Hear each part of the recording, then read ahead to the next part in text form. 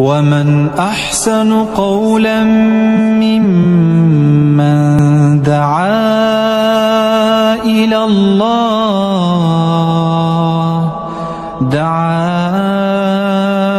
إلى الله وعمل صالحا وقال إنني من المسلمين দুই এক মিনিটের মধ্যে শেষ করছি খেয়াল করেন এইটার সাথে আমরা অনেকেই জড়িত।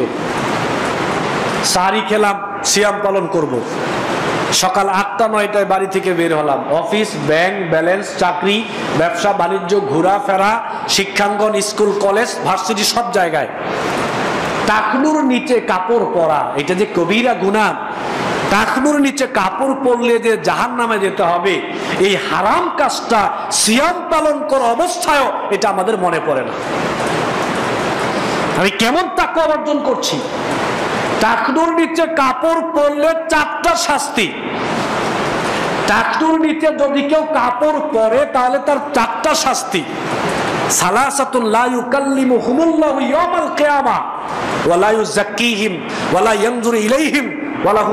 আলীম। হচ্ছে বুখারীর আল্লাহ নবী বলছেন মাসফালা মিনাল কাবাইনি মিনাল ইজারি ফিন্নার যে ব্যক্তি টাকনুর নিচে কাপড় ঝুলিয়ে পড়বে, তার সরাসরি থাকার জায়গা জাহান্নাম। হে নামাজি হলো জাহান্নাম, রোজাদার হলো জাহান্নাম, আল্লাহর অলি হলো জাহান্নাম। অপরাধ কি? টাকনুর নিচে ইচ্ছাকৃত ভাবে টাকনুর নিচে কাপড় ঝুলিয়ে পড়া। প্যান্ট হোক, লুঙ্গি হোক, পায়জামা হোক, পুরুষের জন্য টাকনুর নিচে কাপড় ঝুলিয়ে পড়া, এটা কবিরা গুণা মারাত্মক অপরাধ, এর জায়গা হলো জাহান্নাম। আল্লাহ নবী বলছেন, তিন শ্রেণির মানুষের সাথে আল্লাহ পরকালে কথা বলবেন না। এক নাম্বার শাস্তি, আল্লাহ যদি আপনার আমার সাথে কথা না বলে, কথা বলবে কে? পরকালে। দুই, আল্লাহ আমাদের অপরাধ থেকে আমাদেরকে পবিত্র করবেন না। আল্লাহ যদি আমাদেরকে অপরাধ থেকে পবিত্র না করেন অবস্থাটা কি হবে? তিন, রহমতের দৃষ্টি আল্লাহ আমাদের দিকে পরকালে দিবেন না, রাগান্বিত হয়ে থাকবেন। চার, কঠিন আজাব ওয়ালাহুম আজাবুল আলিম, কঠিন আজাব পরকালে আমাদের জন্য রয়েছে। তিন শ্রেণির মানুষের মধ্যে এক শ্রেণির মানুষ হলো যেই সমস্ত পুরুষগুলো ইচ্ছাকৃত ভাবে টাকনুর নিচে কাপড় ঝুলিয়ে পড়ে তাদের জন্য শাস্তি চারটা, চূড়ান্ত শাস্তি হলো ফিন্নার। কোথায় যাবে? জাহান নামে যাবে। অতএব এখন থেকেই টাকনুর উপরে কাপড় পরবেন। বিজ্ঞান বলছে টাকনুর নিচে কাপড় পরলে মানুষের শারীরিক, দৈহিক মানুষের ক্ষতি হয়। বিজ্ঞান বলছে টাকনুর উপরে কাপড় পরলে মানুষের শারীরিক ক্ষমতা বৃদ্ধি পায়। বর্তমান বিজ্ঞান বলছে। অতএব আমাদেরকে টাকনুর উপরেই পুরুষ যারা আছি, কাপড় পরতেই হবে। এটা কবিরা গুণা টাকনুর নিচে কাপড় পরা হারাম। সর্বশেষ পয়েন্ট হলো, একজন ভদ্রলোক, অনেকেই এখন কিন্তু আমার সামনাসামনি চোখে পড়ে যাবেন অনেকেই সিয়াম পালন করছে, সাহারি খেলাম। সকাল আটটা, নয়টার সময় ঘুম থেকে উঠেই সেলুনের মধ্যে গিয়ে বললাম যে একটা হোম শেপ দিয়ে দাও, অথবা একটা ক্লিন শেপ দাও। একটা শেপ করতে চল্লিশ টাকা, পঞ্চাশ টাকা লেগে যায়, ষাট টাকাও লেগে যায়। অনেক সময় দেখা যায় মাথাটা ঘাটটা একটু বানায় দিলে আরও বিশ টাকা বেশিও দেন অনেকে। মারাত্মক অপরাধ। এটা মারাত্মক অপরাধ। বিশ্বাস করুন, কোরআন সন্ন্যার দৃষ্টিতে এটা মারাত্মক অপরাধ। দাড়িকে চেঁচে ফেলা শেপ করা। বর্তমান চিকিৎসা বিজ্ঞান বলছে দাড়ি শেপ করা। ব্লেড লাগিয়ে দাড়িকে শেপ করা, এই যে আমরা ক্লিন শেপ বলি হোম শেপ যাই বলি, এটা স্বাস্থ্যের জন্য অত্যন্ত ক্ষতিকর। যদি বিশ্বাস না হয়, কোন একজন বিজ্ঞ ডাক্তারকে আপনি একটু জিজ্ঞেস করে দেখেন। কোরআন সন্ন্যার দৃষ্টিতে এটা ওয়াজিব। এটা রাখতেই হবে, এটা রাখতেই হবে। এটাকে চেষে ফেলার কোনো সুযোগ নেই। রাখতে হবে। এমন কেউ হবে কারণ এটাও বলেছেন, দাড়ি কাটার অনেক কোনো সুযোগ নেই, ছেড়ে দিতে হবে। হাদিস শরীফে আসছে খলিফুল মুশরিকিন। আল্লাহ নবী বলছেন, তোমরা মুশরিকদের বিরোধিতা করো। কাসরুস শরীফ আউফুল্লোহা গোফগুলোকে ছোট করো, দাড়িগুলোকে তোমরা লম্বা করো, ছেড়ে দাও।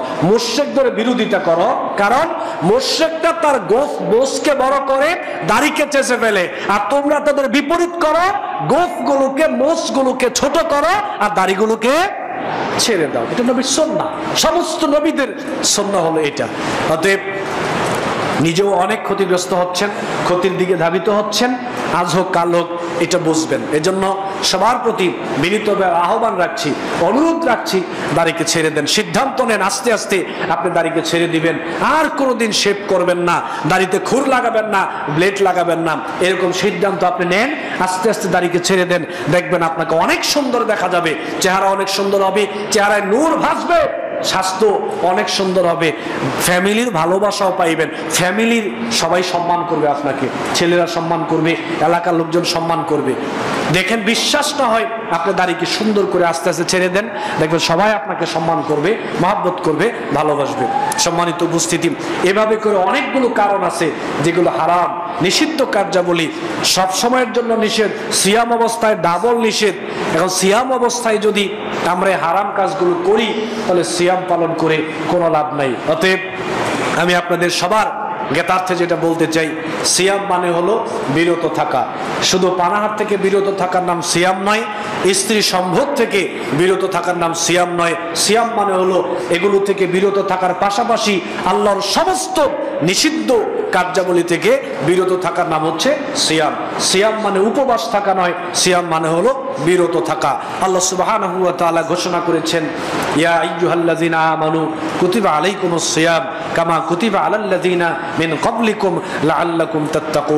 যেভাবে সিয়াম পালন করলে আমরা এই দুনিয়াতে উপকৃত হতে পারব, পাশাপাশি পরকালে জান্নাত লাভ করতে পারব। আল্লাহ আমাদের সবাইকে সেভাবে বুঝে শুনে সিয়াম পালন করার তৌফিক দান করুন। আমিন।